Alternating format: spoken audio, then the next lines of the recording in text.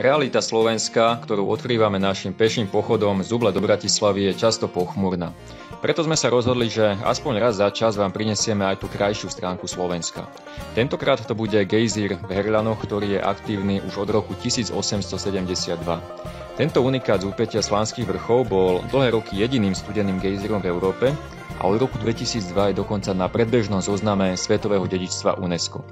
Či to boli zdevastované kúpele, spúsnuté ubytovacie zariadenia, ktoré sme videli, Zemplínska šírava, alebo najnovšie aj Herlianský gejzír, potvrdzuje sa nám jedna vec. Slovensko má potenciál byť turistickou veľmocou s obrovskou pridanou hodnotou a nielen montážnou halou s neprimerane lacnou pracovnou silou.